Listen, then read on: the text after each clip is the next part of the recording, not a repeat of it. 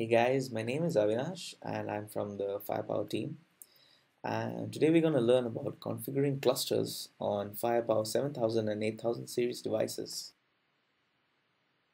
Let's go to the basics, right? We need to know what exactly we are configuring before we can actually configure it, right? So let's think, what's a cluster? A cluster is a group of devices working together doing one common feature, right? So What's a cluster? It's a set of devices working together and syncing configuration data.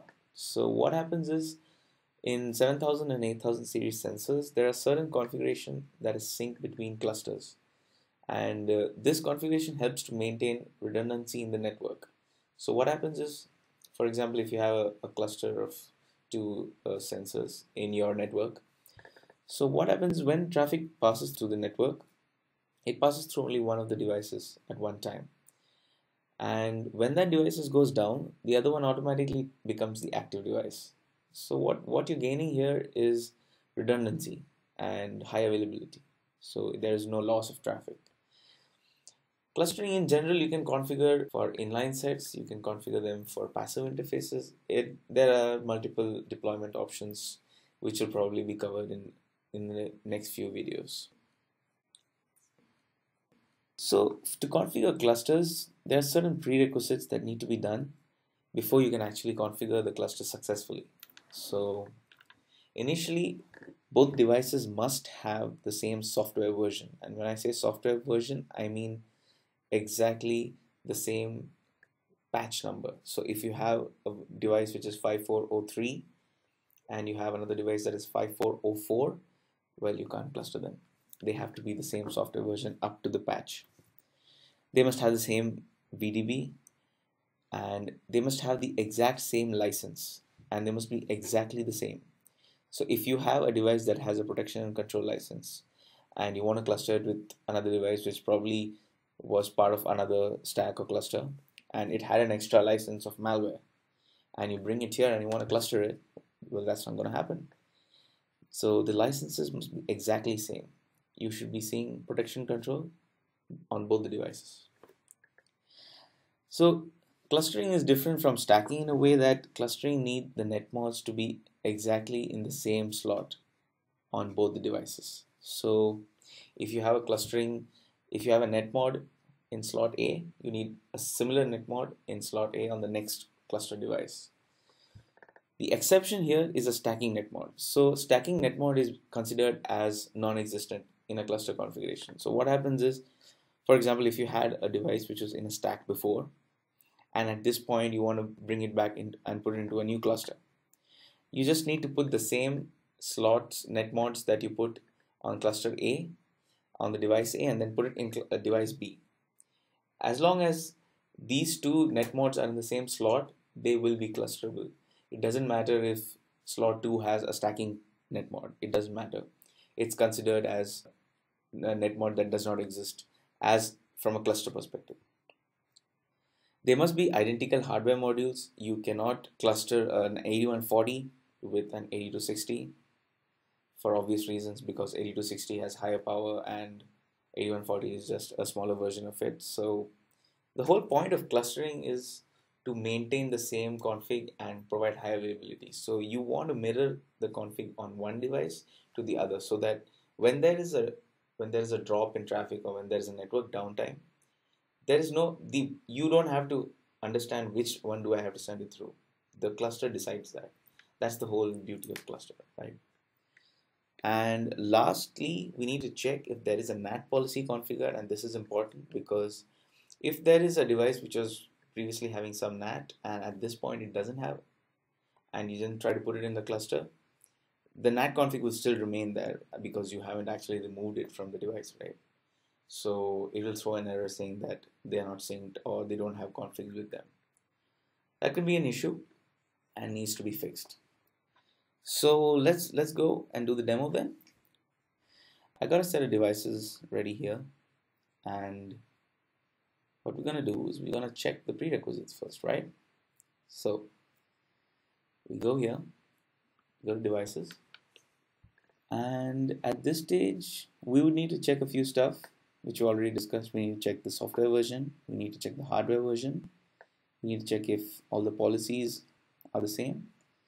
And we can go ahead and create the cluster. So as you can see here we got two devices. They are in a good state. And this one is a 38140 this two is a 38140 version 5404 version 5404 they're the same. They have the same license. They have the same health policy and the default policy and they have no access policy applied. So a thing to remember here is it is not mandatory that health policy and system policy needs to be the same but it is better you have it as the same. It, it is better because you know it is uniform throughout on both devices. Just for confirmation we'll just go check the net mods just in case you know there's some issue. So I just clicked on one device.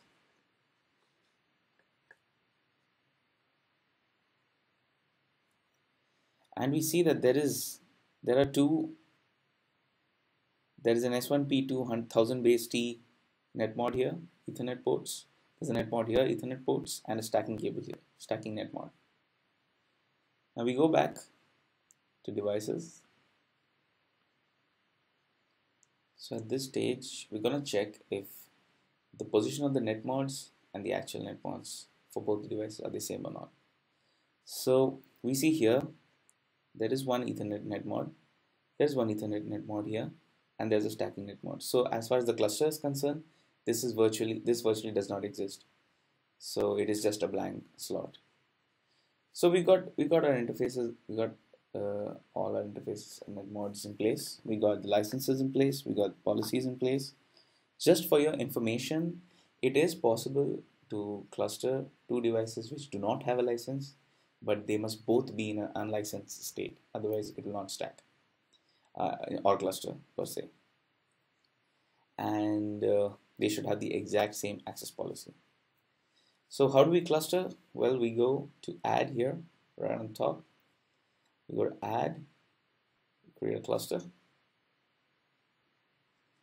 give a name I'm going to give I'm, I'm going to make 206 as the active and I'm going to make 204 as the backup. So one thing to remember here before I cluster is the difference between active standby and primary and secondary. So at this point, I'm going to configure them as active backup. A primary device is the device which you create as primary and it stays primary throughout. But a secondary device is going to stay secondary throughout, but can be active as well at some point of time. So just just to bring that out, there's a difference between active standby setup and primary secondary setup. Primary secondary is final and fixed, but active standby keeps changing according to traffic flow. So then all I got to do is click on cluster. If everything goes well and we actually have no configuration issues, this will cluster successfully. And if not, you will see a few errors. If you see this error, all members of a HA config must have up-to-date policies deployed to them and the following devices are out of date. So this basically means that this might have been in a cluster or it might just have been a standalone device but at this stage the policy applied to it is out of date and it's not synced with the DC. Without having synced policies and being exactly same on both the devices you cannot cluster it.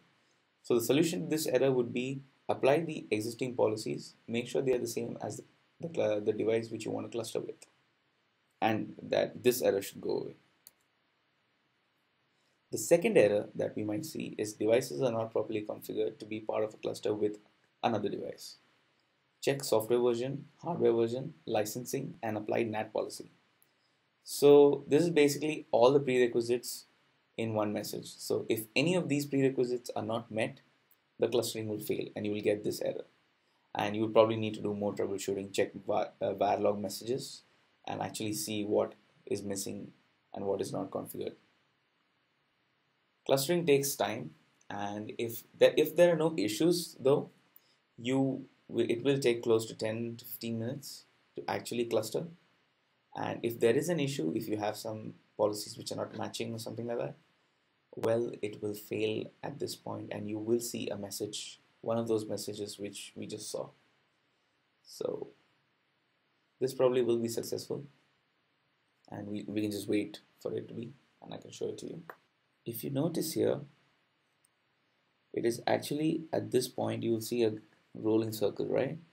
So what what's happening is devices uh, information is being sent to the primary device first, the active device which we've set, right? It's going to that first. It'll then configure it on the standby device, and after that it'll create the cluster. So at this point, it is deploying policies to the active device, after which it will go to the standby device. We see cluster BLR cluster added. That's a good thing.